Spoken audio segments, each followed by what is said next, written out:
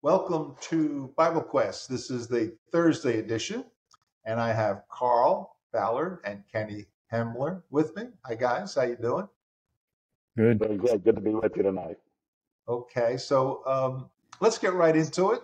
We want to keep it short and brief and to the point and not bore people.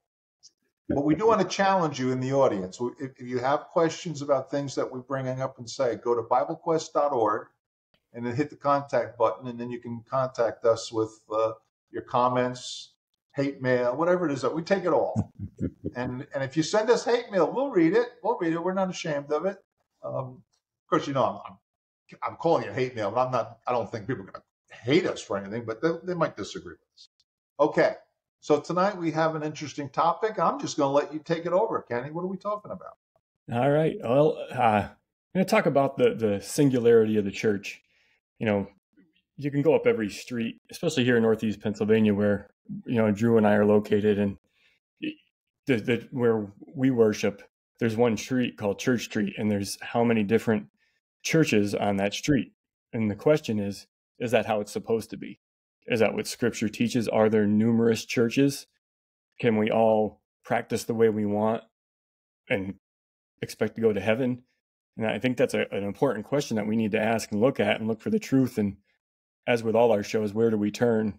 We need to turn to scripture with that. So the question that we I think we could start with is denominations.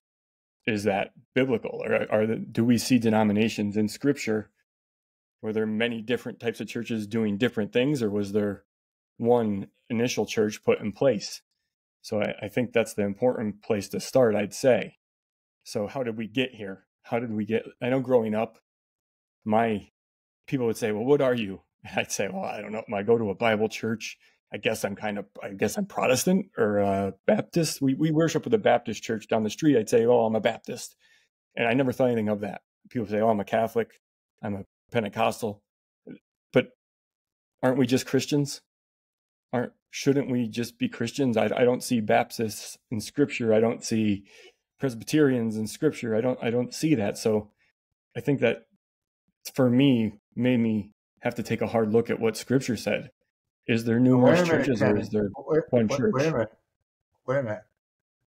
John the Baptist, wasn't he the first Baptist? that's, that's what some some like to say, but I've heard that. I've actually heard that. Yeah. That, yeah. See, that the, King, the King James is what gave that title. He's really John the Baptizer. Baptizer. You're right. Mm-hmm. Yeah. Not right. identifying as a particular. I, I'm sorry, I interrupted you, Carl. That's why I was just going to say, I'll tell you something that helped me early on. Many of you know that I came out of atheism, really, and, and one of the things that caused me to, to atheism as an, as an answer was seeing all the confusion of all these different groups that claim to be false and Bible, enough of them were saying the same thing. We think there must not be any truth there.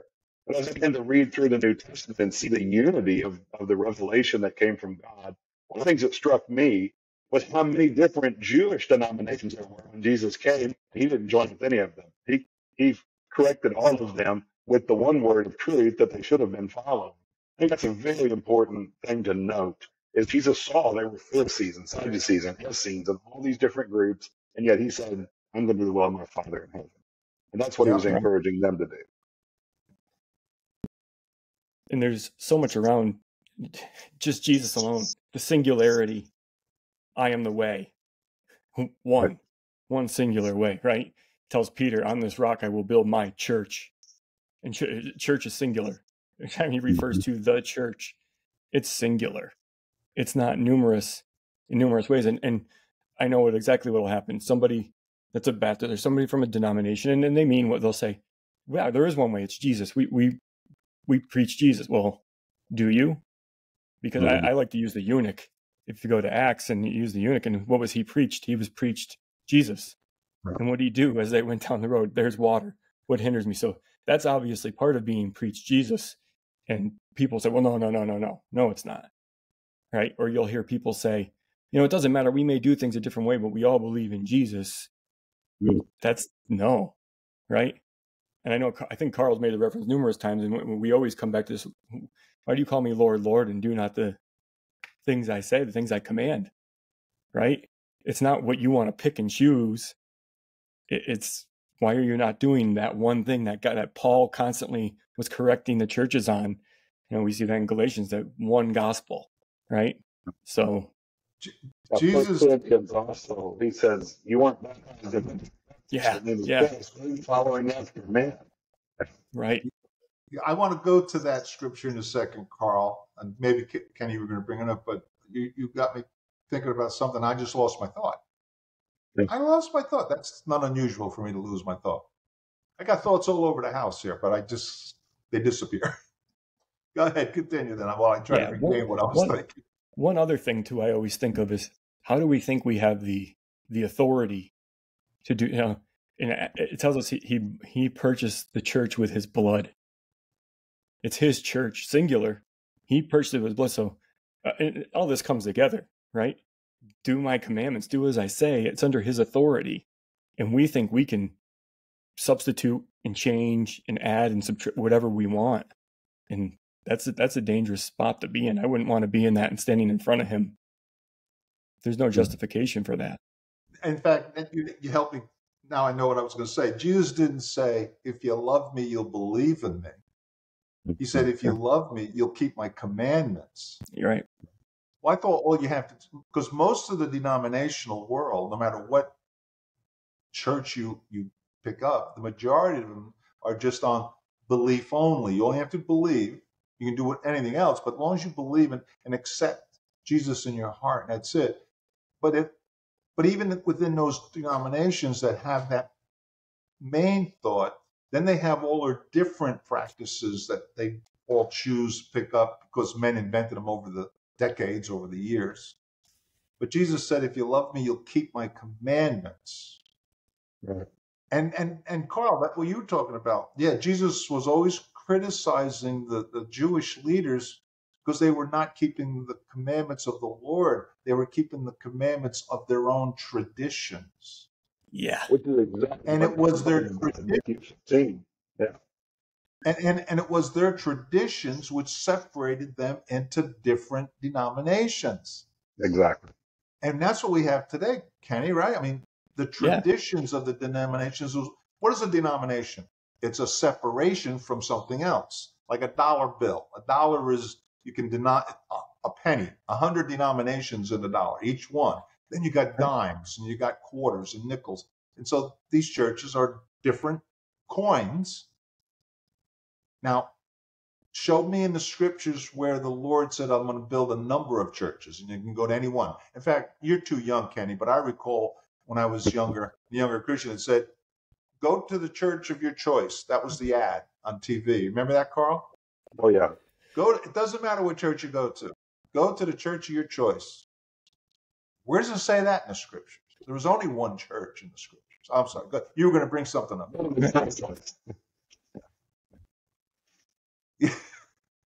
what were you going to say, Carl? You were going to bring up a scripture.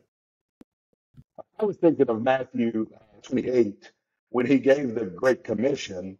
He said to go out in verse 19 and 20 and make disciples of all the nations, baptizing them in the name of the Father, Son, and Holy Spirit. He said, teaching them to observe all things that I have commanded you. He's teaching a, a way of heart. He's teaching to observe.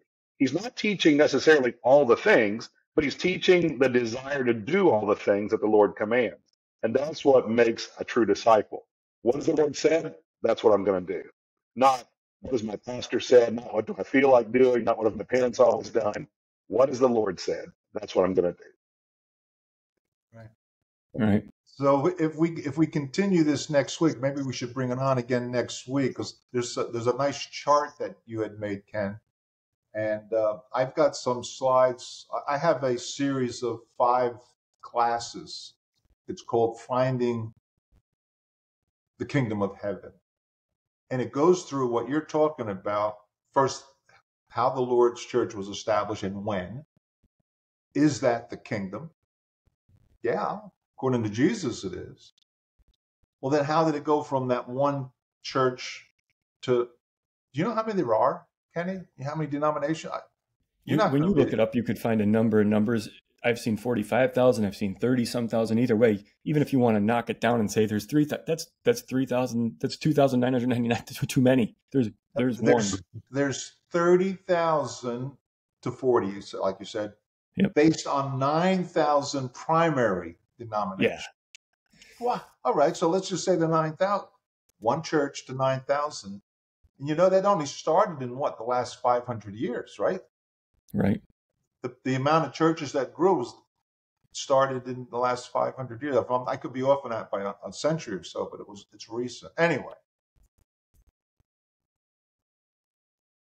it's just it's amazing. I mean, First Corinthians 1, 10 through 13, right? Now I plead with you, brethren, by the name of our Lord Jesus Christ, that you all speak the same thing, and that there be no divisions among you, but that you be perfectly joined together in the same mind and the same judgment.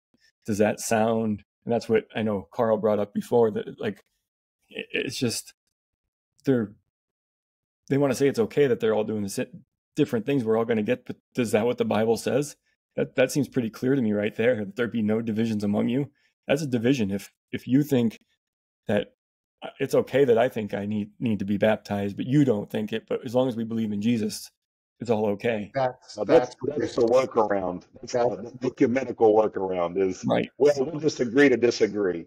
Right. There should be no disagreements. We're no. following the Lord, not I want and you want. We'll just we'll say it's all okay.